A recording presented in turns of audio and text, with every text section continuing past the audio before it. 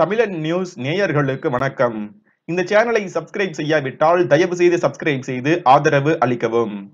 அடுத்த செமஸ்டர் தேர்வுகளும் ஆன்லைனிலேயே நடைபெறும் என அண்ணா பல்கலைக்கழகம் அறிவித்து உள்ளது.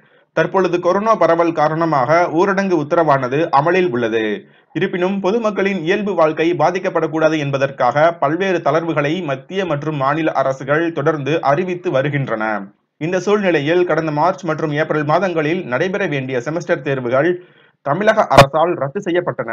அத்துடன் தேர்வு கட்டணம் செலுத்திய அனைத்து மாணவர்களும் தேர்ச்சி பெற்றதாக அறிவிக்கப்பட்டது.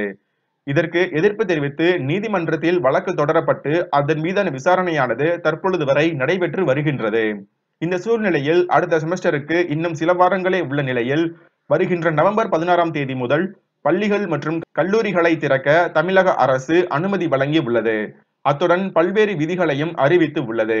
இதன் காரணமாக வருகின்ற வாரங்களில் அடுத்த செமஸ்டர் தேர்வுகள் நடைபெறும் என எதிர்பார்க்கப்படுகின்றது.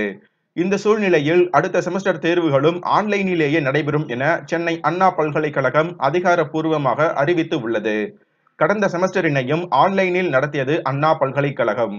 இறுதி செமஸ்டர் தேர்வுகளை மட்டும் ஆன்லைனில் நடத்திய நிலையில் அடுத்த செமஸ்டர் தேர்வுகள் அனைத்தையும் ஆன்லைனில் நடத்த திட்டமிட்டு உள்ளதாக கூறியுள்ளது.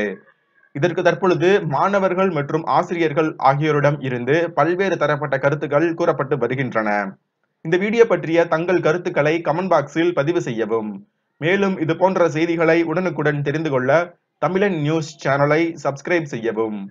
மறக்காமல் பெல் சிம்பலை பிரஸ் செய்யவும். நன்றி. Subscribe, like, comment, and share.